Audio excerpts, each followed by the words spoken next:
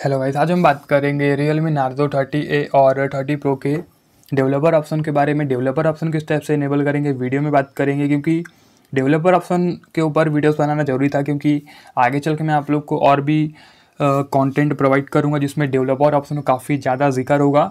इसलिए मैंने सोचा एक पर्टिकुलर वीडियो डेवलपर ऑप्शन के ऊपर बना दूँ कि जिसमें आप लोग को डाउट ना हो कि भाई डेवलपर ऑप्शन इनेबल कैसे करेंगे।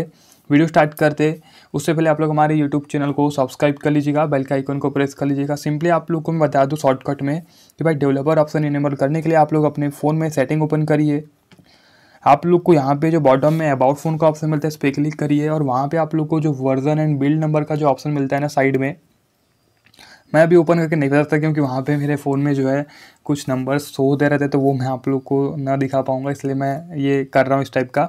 आप लोग को अबाउट फ़ोन पे क्लिक करना है।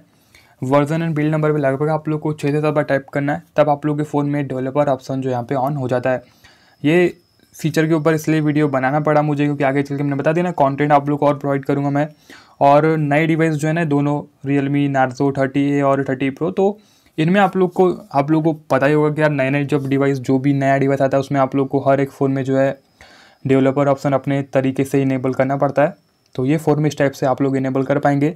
और इनेबल करने के बाद आप लोग एडिशनल सेटिंग ओपन करेंगे और यहाँ पे आप लोग को जो है वो डेवलपर ऑप्शन देखने को मिलेगा। यहाँ पे आप लोग क्लिक करेंगे, आप लोग इसको यहाँ से जो है यूज़ कर पाएँगे। ठीक है ना? इस टाइप से आप लोग डेवलपर ऑप्शन को इनेबल कर पाएँगे।